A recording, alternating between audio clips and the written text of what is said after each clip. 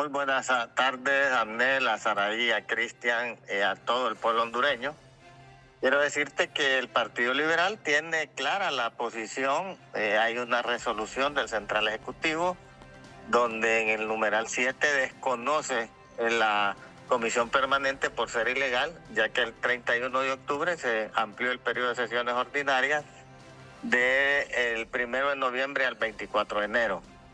Se ha insistido con Luis Redondo eh, que debe ser convocado por él como eh, presidente ilegal de la Junta Directiva, pero que ha estado en funciones durante dos años y no a través de una comisión permanente que no debe existir porque el Congreso está en sesiones ordinarias, pero él, obedeciendo órdenes, eh, no sé de quién, se ha empecinado en hacer esa convocatoria de manera ilegal como miembro de la comisión permanente. Entonces, nosotros somos instituto, un instituto político serio de más de 100 años, centenario, eh, con una memoria institucional ante el pueblo hondureño, que vamos a seguir los lineamientos de nuestra autoridad máxima, que es el Consejo Central Ejecutivo. Mañana estamos convocados a una sesión de bancada y como he venido diciendo, ahí deben discutirse eh, esos temas, pero no podemos nosotros ir en contra de la autoridad del partido. Tenemos que ser congruentes porque es de un instituto político serio y responsable que no puede tomar decisiones al margen de un mandato de nuestra máxima autoridad. Entonces, desde ese punto de vista, Amnel, nosotros no podemos acudir a una convocatoria si se está actuando en contra de los designios de nuestro instituto político.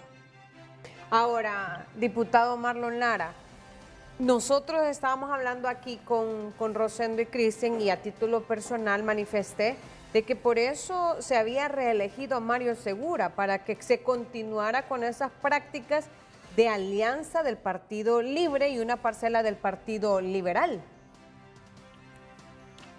Bueno, quiero decirle de que una cosa es la votación para elegir el jefe de la bancada y otra cosa son las posiciones que el partido debe de tener congruente con los lineamientos de la dirección de nuestro instituto político.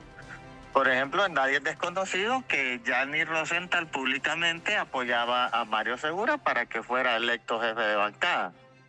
Pero también en esta decisión del Central Ejecutivo, que se cogió por mayoría, el Central Ejecutivo dijo que no reconocía la comisión permanente por ilegal. O sea, son dos escenarios totalmente distintos. Y se lo remarco, eh, Mario Segura tenía el apoyo de Gianni Rosenthal para que él fuera eh, presidente de la bancada. Eh, inclusive eh, desde el mes de diciembre tengo entendido que él llamó a varios diputados para que lo apoyaran para que fuera reelecto.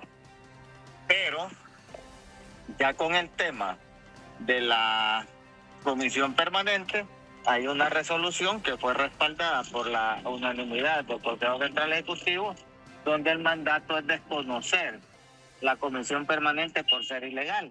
Entonces, ahí usted puede ver que son dos escenarios totalmente distintos y qué es lo que estamos llamando los 22 diputados de la bancada. Actuar conforme la autoridad máxima de nuestro instituto político, ya que nos debemos al Partido Liberal. Nosotros salimos electos por el Partido Liberal de Honduras y tenemos que ser respetuosos de su autoridad y eso es lo que nosotros vamos a discutir el día de mañana, que se cumpla esa, ese mandato que nos ha dado nuestra máxima autoridad de no reconocer la comisión permanente, por lo tanto, si nosotros asistimos a la sesión que convoquen como comisión permanente, va a ser lo mismo que lo hicimos la última vez, que fue a cuidar nuestros curules para que no sean usurpados por diputados de Libre. Muy bien.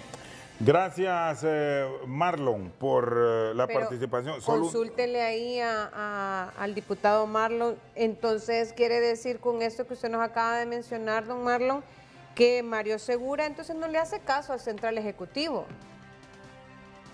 Bueno, porque eh, él como jefe de bancada tiene el deber de seguir los lineamientos del Consejo Central Ejecutivo y también los diputados eh, del Partido Liberal tienen la obligación de seguir los lineamientos del partido. Nosotros somos una institución seria, centenaria, con una memoria eh, institucional al servicio del pueblo hondureño y no podemos desconocer las resoluciones que tome el partido. Así que no solo Mario Segura, sino que los 22 diputados estamos obligados a cumplir con ese mandato de nuestra máxima autoridad. No seguirle el juego al libre. Eh, si Luis Redondo se ha hablado con él y se le ha dicho en reiteradas ocasiones que el partido puede participar siempre y cuando convoque como eh, presidente de la Junta Directiva Ilegal y no como miembro de la Comisión Permanente y él persiste, quiere decir que él no quiere resolver el conflicto y que por el contrario lo quiere agravar con esas posiciones que no permiten resolver la crisis legislativa.